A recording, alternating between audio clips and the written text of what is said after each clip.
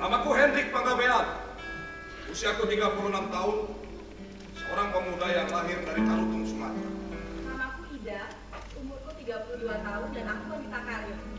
Aku kerja di bagian corporate social responsibility sebuah perusahaan multinasional di Jakarta. Di dalam gemetarnya itu, Ahmad Zakari merasakan sebuah getaran.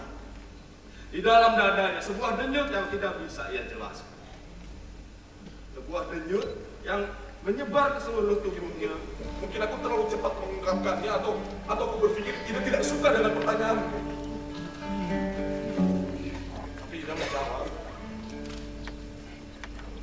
Pak, aku sudah menikah. Aku bisa merasakan ada yang berubah. Bukan cuma itu. Sejak saat itu, aku mulai memperhatikan kalau Ida pulang lebih malam dari biasanya.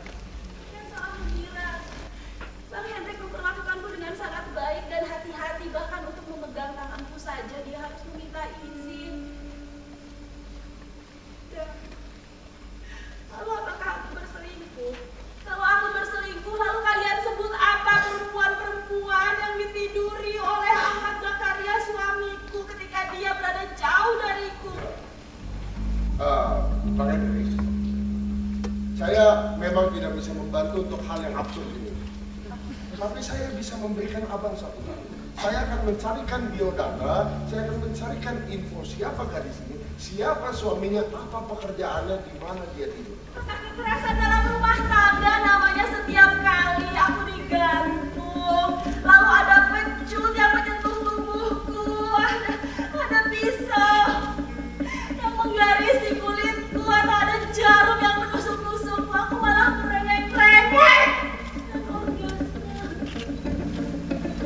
Jadi malam ini, ketika Ida akan melangkahkan kakinya pulang ke halaman, ia akan mendapati lampu rumah mati semua.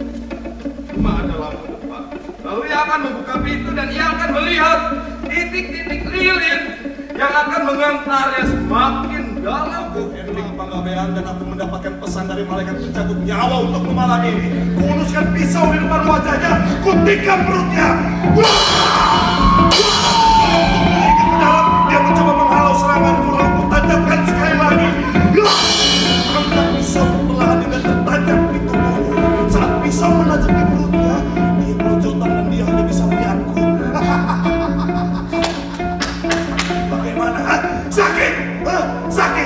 Kalau.